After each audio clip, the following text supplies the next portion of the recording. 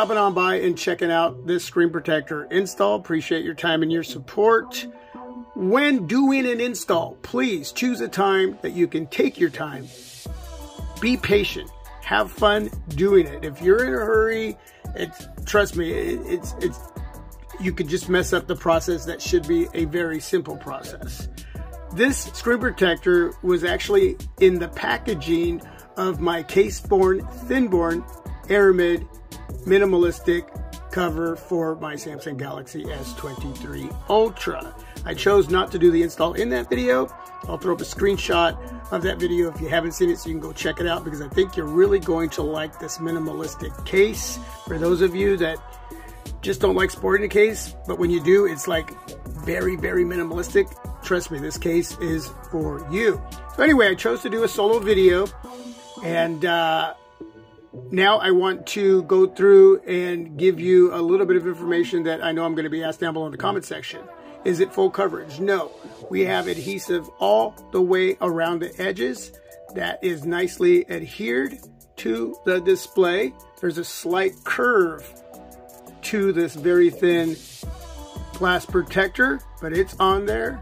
And we do have an area here that I had to rub down a little bit of adhesive there over the under display fingerprint reader. You will have to turn on your touch sensitivity uh, in the display settings. And for me, I had to reset my fingerprint. You may not have to, but it's probably better just to do that. So with that, let's go ahead and test out the fingerprint reader with the Caseborne glass protector over the S23 Ultra display. All right, so let's tap on the display. I've already turned on the touch sensitivity option and I've already reset my fingerprint. Boom. Boom. Nice. Digging it. Loving it. Very nice and fast. Very responsive. Huge shout out Caseborne. Now, as far as I know, you cannot purchase this screen protector separately from the case. So, please check out the information on the case. I'll leave a link down below in the description area. That way, if you love minimalistic cases, look at it this way, man. You're getting a two for one. How can you go wrong?